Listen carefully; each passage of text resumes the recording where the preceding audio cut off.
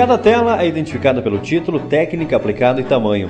Durante todo o mês de junho, quem passar pela Biblioteca Pública Municipal terá a oportunidade de apreciar de perto o trabalho da artista plástica Eunice Sartor. É uma alegria muito grande para mim saber que pode ter esse, esse valor, sabe?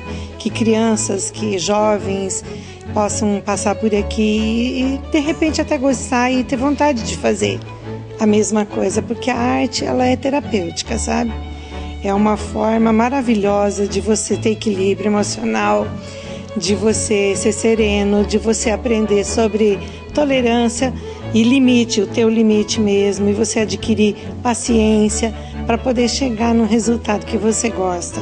A exposição conta com dezenas de obras feitas pela artista que, desde os 15 anos de idade, é apaixonada por pinturas em telas. Eu já tenho esse gosto desde a infância. Eu comecei a fazer alguma coisa ligada ao trabalho das artes com lápis comuns, lápis de colorir, fazendo cartões e com estímulo dos pais, da família. Sabe aquele pai, aquela mãe que tudo que você faz acha bonito, bota na geladeira, a gente acredita. E foi assim. Começou assim, mas eu sempre gostei muito. Sempre apreciei muito a arte. Começou com lápis. Eu demorei muito até o acesso às tintas mesmo, sabe? Uma porque morava no interior, numa cidade menor, Araruna. Eu, ninguém sabia, eu procurei muito. Nunca tinha visto tinta óleo, por exemplo, né? As tintas a óleo que eu comprei, as primeiras quatro latinhas eram tintas de pintar janela que foi quando eu fiz o meu primeiro trabalho em cima de uma cartolina. Nesta tela, Eunice pintou as próprias mãos. O repertório é variado e pode, segundo Eunice, chegar a meses para ser pintado.